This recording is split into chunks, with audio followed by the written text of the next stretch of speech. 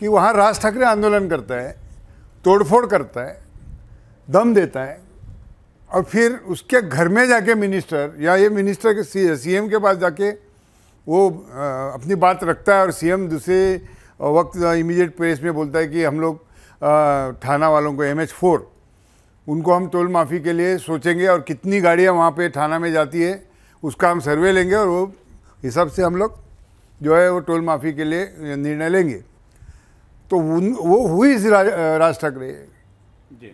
उसकी डिग्निटी क्या है? एक आमदार है उसका।